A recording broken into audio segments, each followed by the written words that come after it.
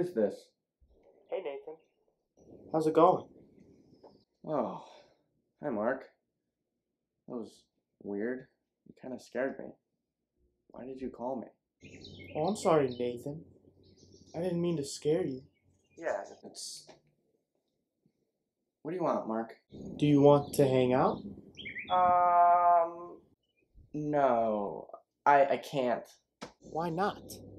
I'm uh not home right now.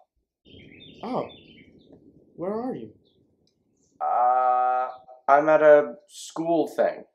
In the summer? Uh, it's a extracurricular thing for for theater. The school's producing plays in the summer? Uh, yeah. What production are you doing? Um, listen, man, I I just can't do anything today. Uh, I got to get back to the the play. Oh, that's strange. What's strange? Because I called your landline. And you answered it. Uh, no, this isn't my landline. This is this is my cell phone. I don't even have a landline.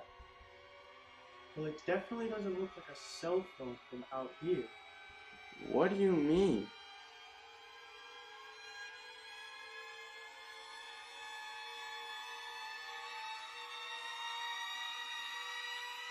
You lied to me, Nathaniel.